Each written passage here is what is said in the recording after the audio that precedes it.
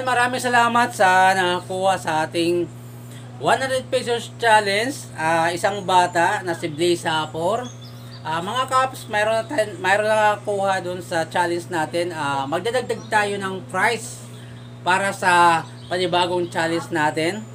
Ah, doon natin ilalagay sa mga pasyalan. Ah, yun ang clue natin, pasyalan. Ay announce lang natin dito sa ating YouTube o kaya sa ating Facebook para makikita niyo kung saan nyo hanapin. Dapat, bago nyo hanapin, makasubscribe na kayo sa aking YouTube channel.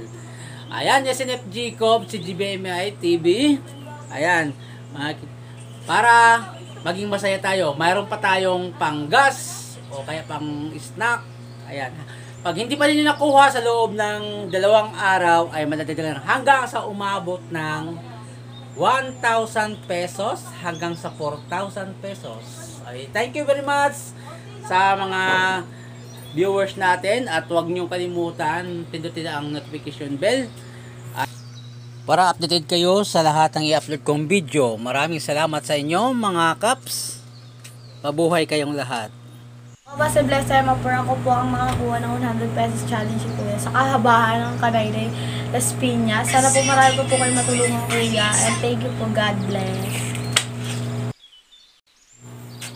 Ayan guys, ang sunod nating challenge, ah yung ating price na ah, 200 pesos challenge, ah, ilalagay po natin sa the tent kung saan yung pasyalan doon sa likod ng Gatchilian. Hanapin natin doon. Pero bago niyo hanapin, kailangan niyo kayo makapag-subscribe sa ating YouTube channel, SNF Jacob CGBMI TV. Ayan.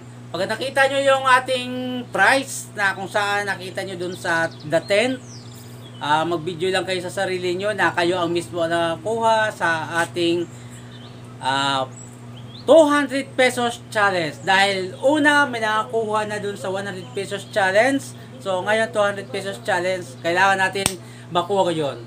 Yan, maraming salamat. Ah, kung gusto nyo mag-join, tara na para hanapin natin yung 200 pesos challenge. Mabuhay kayong lahat. Bye-bye!